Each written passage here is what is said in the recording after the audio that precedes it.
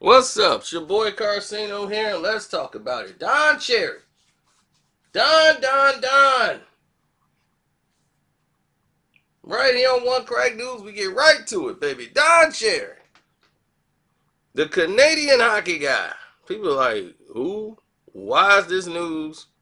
Why am I listening to something about Canadian hockey? I don't know who that dude is. The 85 year old Don Cherry went on what they call the ramp in Canada. Now he has a show, and Sportsnet has hired him. He's been known for Canadian hockey and talking about it for years.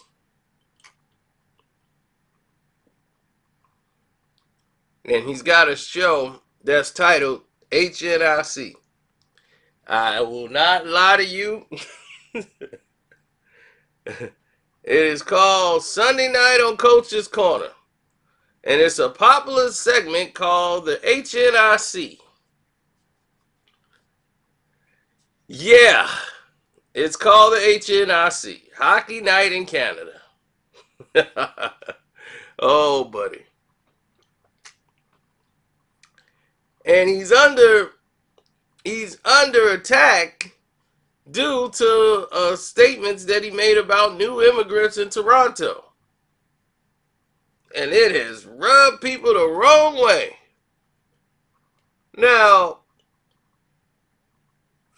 this is an 85 year old man, and you're trying to change him?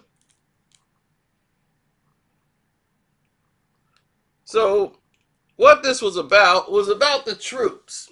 And for people here in America that don't know what poppies are, poppies are some things that you would wear, you know, in honor normally of the troops. You know, they wear these things they call poppies. You know, and it's nothing but a little red little badge with a dot on it. it look like a bullseye. So you want to keep your little poppy on and he thinks that a lot of these immigrants are not, you know, supporting the troops enough, the Canadian troops. So he goes on a rant on the new immigrants. And his statement was, You people love our way of life. You love our milk and honey. At least you could pay a couple of bucks for some puppies or something like that. These guys pay for your way of life that you enjoy in Canada downtown Toronto. Forget it, downtown Toronto. Nobody wears a poppy. so it became the poppy thing, and it looked like a regular night. Even his co-host gave the thumbs up. Like, okay. Oh, it called heat. Sportsnet was attacked by all these different immigrant people. And the president says sports is supposed to bring us together, unite us, not divide us. So they decided to speak with Don Cherry on Saturday night. Because this all went down on, uh, what today is, the 11th? So this went down on the 9th. So they spoke to him after the broadcast to have a, you know, a nice little talk with him to say this is not something we can say on the air.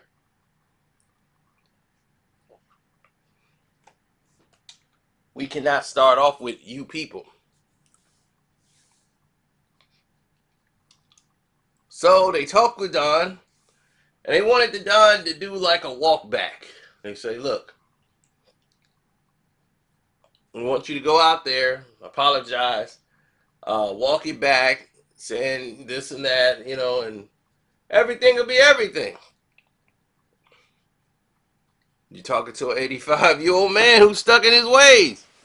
There was no way. He was walking it back and was like, There's no way. I stand by everything I said. I didn't say nothing wrong.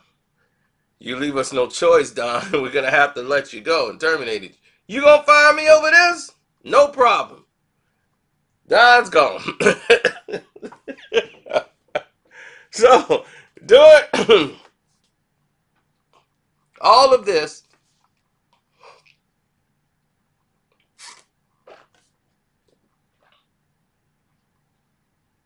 Mm-mm-mm. The president of the company had to come out and say, Oh, Bart, during the broadcast, he has made divisive remarks that does not represent our values or what we stand for. Don is synonymous with hockey and he has played an integral role in the game for the last 40 years. We would like to thank Don for his contributions to hockey and sports broadcasting in Canada. Thanks, Bart, the president of Sportsnet. But you know, normally when people get this news, they they let their publicists talk, and they'll go sit down somewhere. This dude's 85. All he want to do is talk. He went and told Warmington he was hurt to be fired on the day because it's Remembrance Day, which is here called Veterans Day. I've just learned I've been fired by Sportsnet for comments I made on the coach's corner on November the 9th. No problem. I know what I said and I meant it. Everybody in Canada should be wearing a poppy to honor our fallen soldiers. I speak the truth and I walk the walk. I visit the bases of the troops to been at Afghanistan with our brave soldiers at Christmas, been to cemeteries of our fallen soldiers around the world, and honored our fallen troops on Coach's Corner.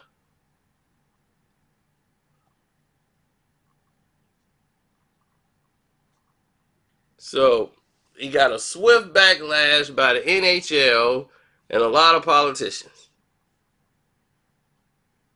And the NHL said offensive and contrary to the values we believe in. Despicable. We're proud of diverse cultural heritage and will always stand up for it. New immigrants enrich our country for the better. We're all Canadians and wear our poppies proudly. So, Canadian Broadcasting Standards Council had been so overloaded with complaints about this commentator's rant, it hit the limit of the organization's technical processing capacity. They have a lot of people outraged with Don Cherry over there in Canada.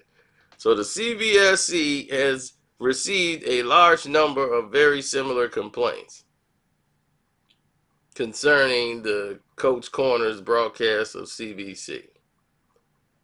So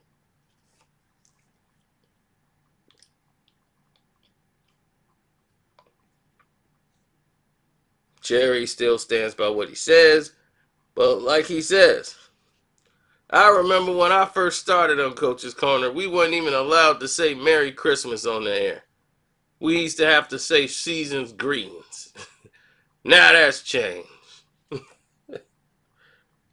I'm a right winger to the extreme. And I really believe on this country and how they feel about service. And it's important and about crime. People are sick of crime and they're proud of their military.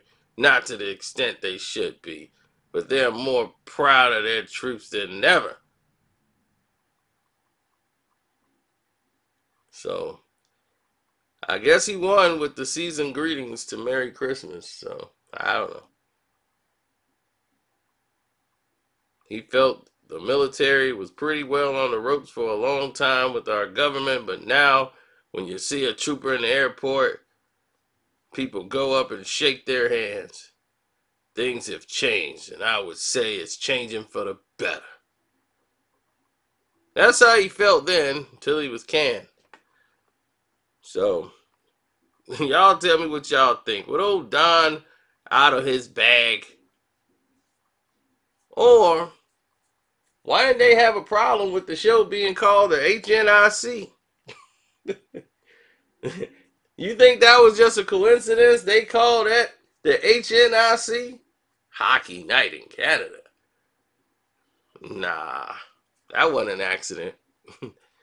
but um, Tell me what you think in the comment section. And by all ways, you guys always could Support the page by clicking the link in the description box, or matter of fact, just hit the Cash App up. Karceno's the name on the Cash App, and you could um, subscribe and hit the notification button. Once again, thank you.